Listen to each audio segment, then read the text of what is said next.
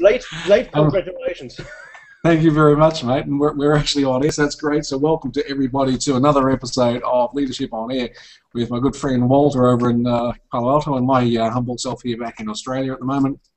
Going out to you live via YouTube, QG Plus, Sun Tzu, uh, CleverX, and The Rising. And today we're going to be talking about the magic of storytelling. Um, Walter, you want to go take it away? I mean, for me, all good leaders tell good stories, and that's sort of what one of the things that makes them a great leader is because they have good stories to tell, which demonstrate great, great uh, um, uh, examples or whatever it is they want to tell, want to disseminate to people. So instead of getting up and you know, lecturing people on all these bullet points, they tell them a story, and it's because they have had that experience that they can do that. So tell us, mate, what's your what's your take on this? Well, first, uh, hello everybody, and uh, hello from Palo Alto sunny Palo Alto. I don't tell you the temperature, but it's more like uh, like last week. so uh, yeah, let's go to the storytelling and to the magic of storytelling. Uh, when you when when you look into history, into history of mankind, then you you will find out that uh, human beings are storytellers tellers by nature. Uh, even way back then, uh, during the times of the cavemen, what did they do in their cave? They were telling each other stories and uh, when you look into how our brains are wired, this is actually how we get and process information. We need, we have the need to, to listen to stories in order to understand. And uh, it's just not working the way uh, that you come as a leader and you tell them, okay, uh, let's do A, B, C, and, and you, you basically come out of nowhere and telling them that. Uh, and after the fact, you wonder why it's not being done.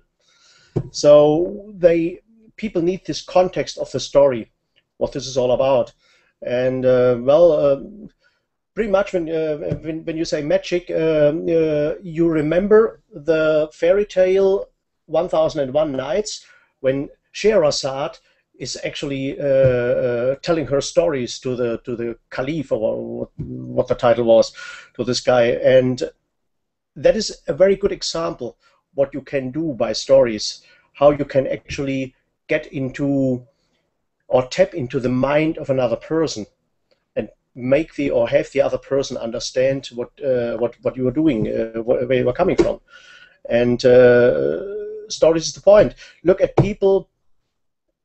Here's a question: when you when you look at Martin Luther King, and at his speech, "I have a dream," or uh, at JFK going to the moon, or people like uh, Mandela or Mahatma Gandhi, what do they have in common? They. Oh, there was a question to me. I thought, I thought that was rhetorical. what do they have in common? Question mark. question mark. Right. um, they, they're both they're both telling a story of what they believe is possible and what can be achieved. Very important point they do not use PowerPoint. Yes, good point.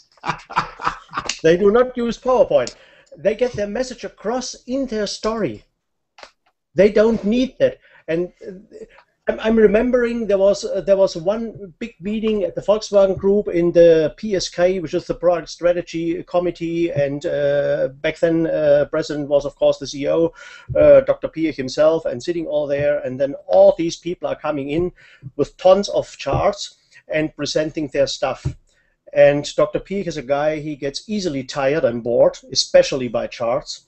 So uh, they come. Some of them bring literally a hundred charts or so uh, to present their stuff, and, and usually you have, if much, you have 10 to 15 minutes to, to talk about uh, this guy is busy and, and the whole PSK is busy. So it, we are we are approaching lunchtime, and uh, a young guy appears, brilliant young guy, about in his early 30s, and Dr. Piech looks at him and says, "Okay, how many charts do you bring?" And the guy turns over to Dr. Piech and says, None. I know my stuff. And then he came up with a brilliant presentation, actually in, in form of a story, less than 10 minutes, and got everything approved. Uh, yeah. Six months from that uh, from that point, uh, he was promoted to board member at uh, at Skoda in Prague, uh, because uh, it was just amazing the way he was able, via his stories, to get the points across. He usually didn't use any chart, mm. and, and uh, that was that that was so compelling. The story uh, he he was uh, he was talking about. It's kind of often I think it's a little bit like like dating. Uh, when when you when you date the first time, you're better off tell a story, and and that's actually what everybody does telling telling stories. If you would just come uh, uh, flat out uh, with a, putting the facts on the table and said, "Hey, uh, this is what we are going to do," and you know, right now uh, um, maybe we split lunch, uh, we don't know each other that well yet, and after the fact we'll figure out your place or mine. it's not going to work. it's, it's, simply not going to work. You you you gotta tell. You gotta tell. Uh, I think I think we've all been to those present. You're absolutely right. Uh, I, I quite often um, I quite often compare dating a business to dating. There are so many analogies there. It's like you know um, on on people when they first interact, whether it's in business or on a, date, the, the best you're ever going to treat somebody or be treated by somebody, more to the point, is on your first date. Uh, and so I often look at um, the way I'm treated in, in business, and I think, well, if that's the way you treat me on our first interaction, that's as good as it's going to get. It's not going to get any better. Uh, back to back to the storytelling though. I think we've all been to those presentations, those situations where we've seen someone either uh, they have multiple off one and then they tell a bit and they read off another and they tell a bit and they read off another one, or they just completely read the, the PowerPoints or some damn thing, or they have handout notes. And we've been to those presentations where people know their stuff, uh, and they do, like you say, they just they tell the story around this stuff. They may they may have a you know a PowerPoint behind it, but there are no bullet points there. They're mostly just pictures yep. on, on, on the thing, and they never really look at them. Um, that's that's presentation, and there is there is that connection between that and leadership because leaders, as you say, leaders don't use PowerPoints. Well, good leaders don't anyway. Um, I've seen a few I've seen a few PowerPoints from a few Australian leaders in the past, and uh, um, I guess that speaks volumes. But um, good leaders know their stuff. They, they they have a vision for what it is they want to achieve, and they go out and they explain to people how they think the vision can be achieved, but letting leaving big enough gaps for individuals to be able to fill in because they don't want they don't set the plan they don't set the you know, the detailed blueprint of everything down, you know, where everything connects up and where the water comes in, where the electricity comes in, and the rest. But what they do is they lay out a, a large scale plan and say, you, you know, this is how I see it. And now they call on everybody to contribute, like you say, with JFK and the, and the space program. He called all the, all the experts together and say, I'll make it happen. Um, you know, did he know how to fly, make a rocket that would fly to the moon and keep people alive? No, he didn't. But he had a vision and he was able to communicate that vision. And, and communication having having a vision and being able to communicate that vision in the form of a story, and without those those those aids, you know, uh, that, that too many people in business fall back on. I think that is key to to uh, great leadership in our day, irrespective of what level of leadership we talk about, at all all different levels, um, from from small business through to enterprise, through to governments and, and, and churches and other organisations. Yeah, uh, what what you do by storytelling is nothing else but painting an image. You, you, you, you, you can give them a, a vision for the what, what Dr. Piech basically did. In 1993, he, he comes to Volkswagen, and Volkswagen, the Volkswagen Group is yeah, basically broke. Uh, they were still kind of in denial, uh, but uh, we were broke. That was just uh, the fact of it. And what does this guy do?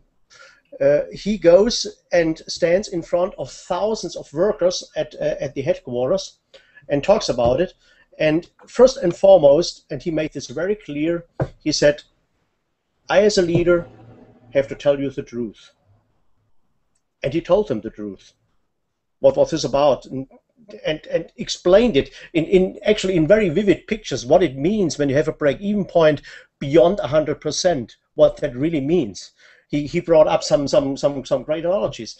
And uh, then uh, he also said what this now means is that basically, if we don't do anything right now, I have to lay off between 35 to 40,000 people of you guys here. So uh, that was that, that he was so truthful about the situation. That was good. But then he said, actually, I do not want to fire anybody. So what I encourage is, can we come up with a plan that maybe each one of us is sacrificing something so that we can keep you guys on board? Because I do not want to use your uh, to, to lose your knowledge or to, to, to lose your know-how. I want to keep that on board. The question is, can we find a way? And mm. and with, with, that speech, and, and and then he from that he said, let's look 20 years ahead. I tell you how I see Volkswagen in 20 years from now. That was 1993, so basically today. And he was talking about Volkswagen being in the top three worldwide, Volkswagen being profitable, Volkswagen being uh, represented in the luxury segments, in the sports segments. And so he was talking about all that and what kind of engines we would have. And and people were just amazed. They were mesmerized. They were they, they were kind of glued to his lips. What uh, and, and he's not a good talker.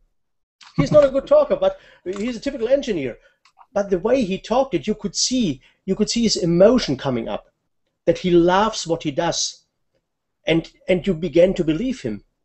And it was at that moment, it was just a story.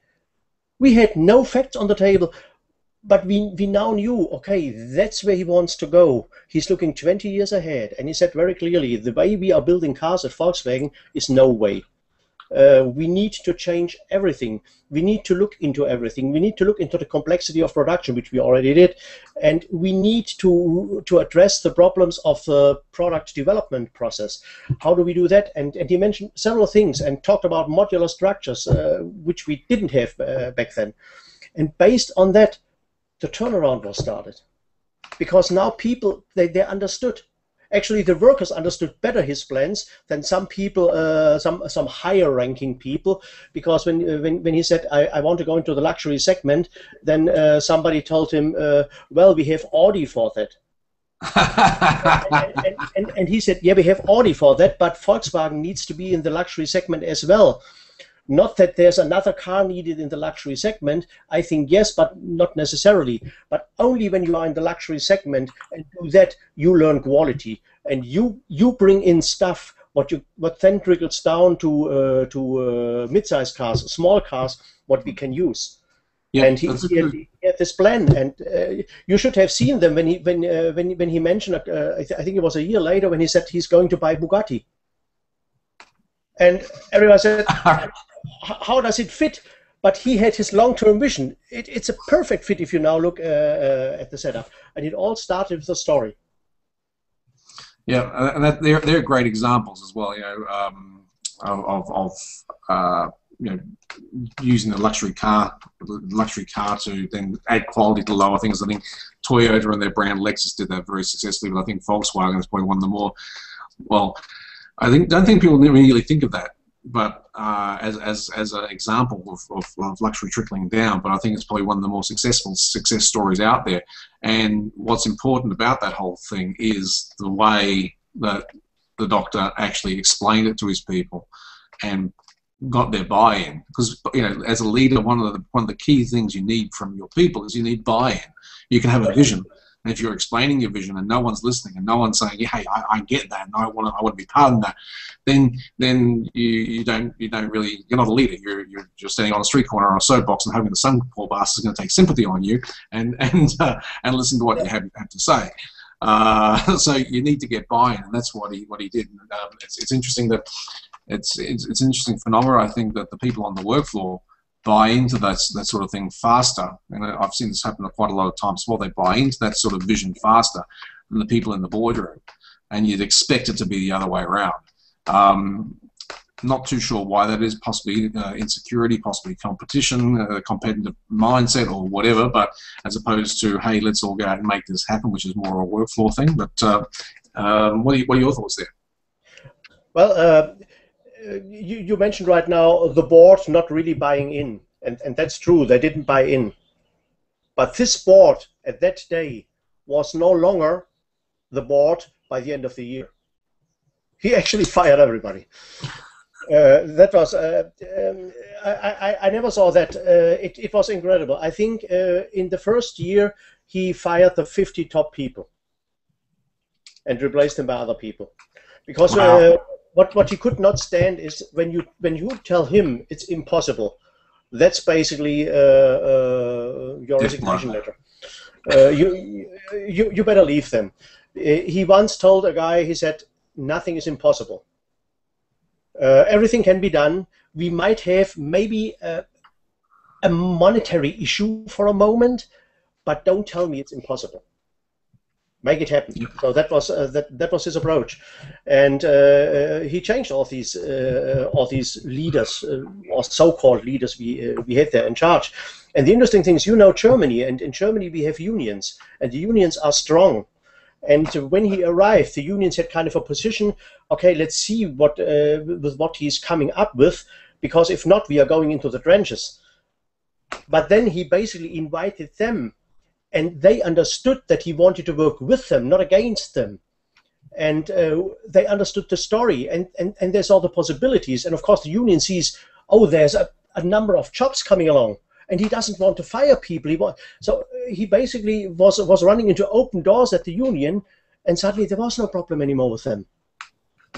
Mm. And all that, all that with the story and, and with the picture he was able to paint.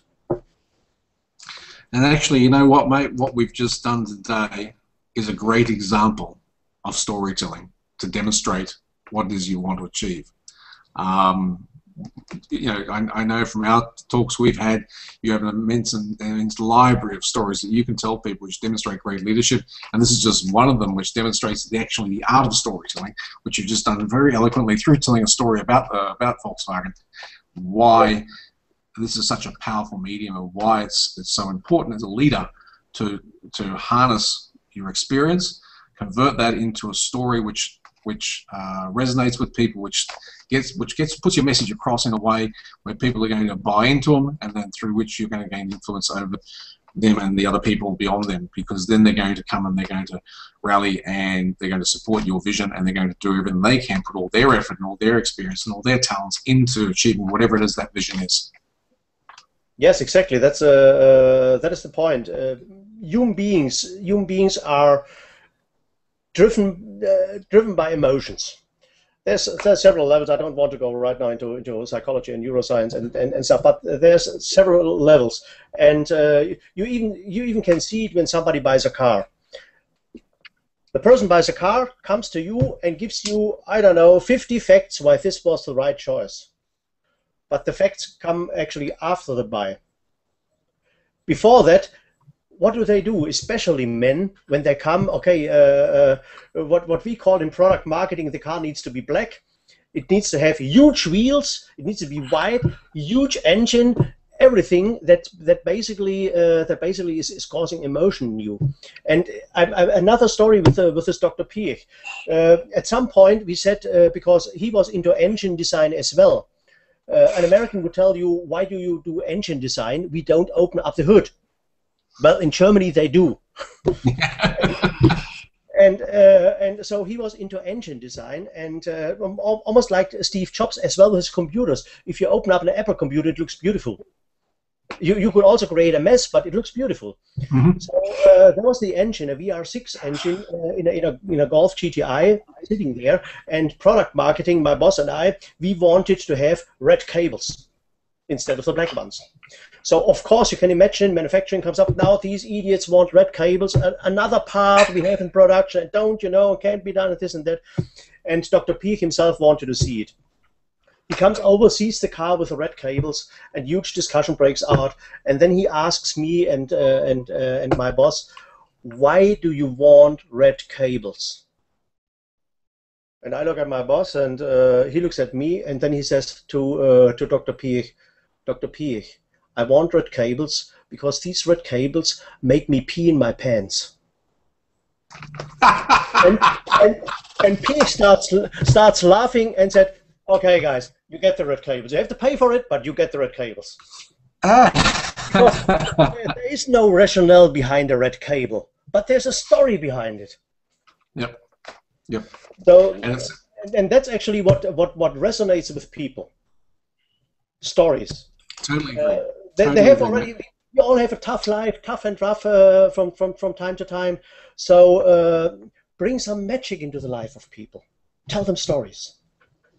Beautiful. Mate, love it. And I think with that, what we're going to do is we're also out of time. I think that was a brilliant, uh, brilliant session and great advice for people. So if anyone wants to find out more about how to uh, how to become a great leader, uh, how to tell great stories, and uh, and all the other uh, attributes that go with great leadership, you need to uh, connect with Walter on G Plus. Uh, his, his uh, details will be at the bottom of the video, wherever you're watching this. And we'll be back here next week, same time, same place, Wednesday, 9 a.m. Sydney time. What time is it where you are, Walter? What time is it Palo Alto at the moment? Right, right now it's 4:24 in the afternoon. Uh, 4 p.m. Uh, Palo Alto time and 9 9 a.m. Uh, Sydney, exactly. Australia time.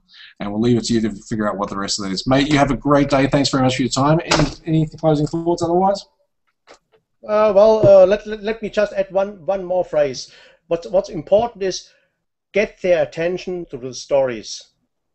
Connect and tap into their feelings and make them feel the magic. Love it. Goes to show why you are who you are, mate. Thank you so much for that thought. Have a great day, and um, we'll talk again soon, man. Yeah, we will. Thank you, Paul. Thank you. Cheers, mate. Bye bye.